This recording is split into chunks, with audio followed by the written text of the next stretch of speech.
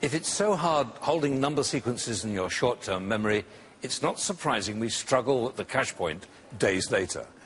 But help is at hand with eight times world memory champion Dominic O'Brien.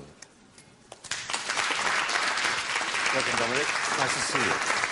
Now, you're an expert at improving people's memory for numbers, so that's going to put you to a bit of a test. Oh, right. right. Okay. What I'm going to do is to give you um, a, a, a 20 digit number sequence, which I'd like you to repeat. You'll hear it now. two, zero, three, four, nine, seven, two, one, three, five, six, seven, four, eight, nine, one, nine, three, zero, seven.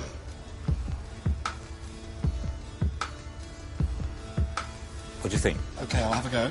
Two zero three four uh, nine seven two one. Is that correct? Yep. Three five six seven four eight nine one nine three zero seven. Well done.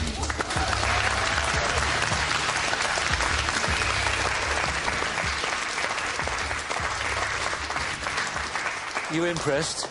I think he did rather well, don't you? Yeah, and, and you know, some people struggle just as we saw with seven-digit numbers. Yeah, the trouble with numbers they don't mean anything in isolation. So if you take the number, like a nine-digit number, 213964102, it sounds horrendous. But if you break it down into chunks, like uh, 213, 964, 102, it's more palatable. That's all right for short-term memory. But if you want to transfer it to your long-term memory, I'd break it down into pairs of numbers, and I'd make up a story. Okay. So, for example, 21 are the first two digits. Imagine a, it's your 21st birthday, you've got a key to a door, there's a key to a tower, a mysterious tower. And as you go up the steps, you notice there are 39 steps. That's from the film 39 Steps. You also, what comes into your head is a tune, When I'm 64, the Beatles. Think about that. When you get to the top of the tower, you see Tony Blair from number 10 Downing Street. Now, a swan, which has the number shape of two, swoops down and carries him off into the clouds forever and ever. Now, you remember that story.